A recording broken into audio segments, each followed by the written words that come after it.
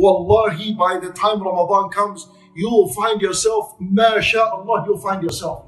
Yani Ramadan will come, one of these headaches of fasting, when I'm uh, hungry, I'm this, and Allah, the first day was difficult. La, la, you don't have any of this. You've already dealt with all that in Sha'ban.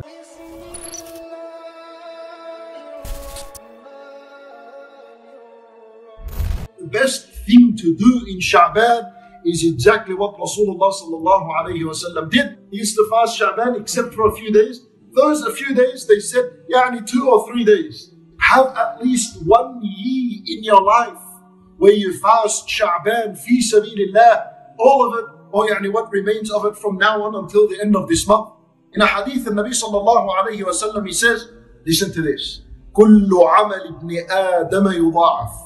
It begins as a hadith nabawi. Nabi Sallallahu is narrating. He says, Every deed that the son of Adam does is multiplied. Is multiplied. الحسنة عشر أمثالها إلى سبعمائة ضعف.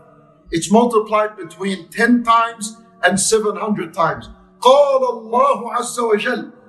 Nabi Sallallahu is speaking, and then the hadith and Nabawi stops and it becomes a hadith Qudsi. Allah Azza wa is narrating now. In, in other words, what's about to be said is so huge that Allah Himself said it. Illa soul, except fasting.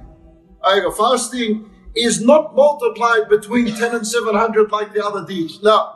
إلا الصوم فإنه لي وأنا أجزي به. Except fasting, that belongs to me. أنا أجزي به. I will reward for it. What does it mean Allah would reward for it?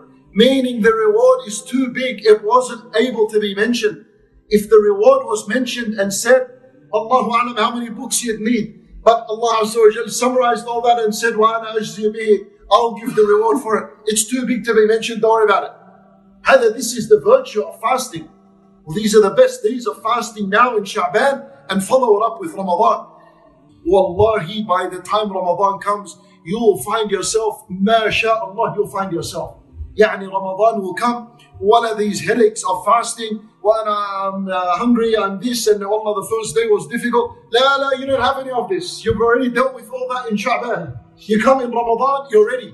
Start your reading of the Quran, start from now. Start from now. For those who are slow, read half a juz'ah.